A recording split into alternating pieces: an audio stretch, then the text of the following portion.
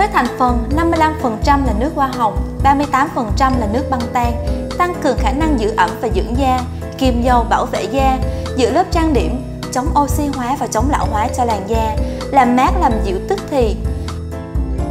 Ngoài ra, các bạn còn có thể sử dụng để giữ ẩm, bảo vệ tóc và giữ nếp tóc.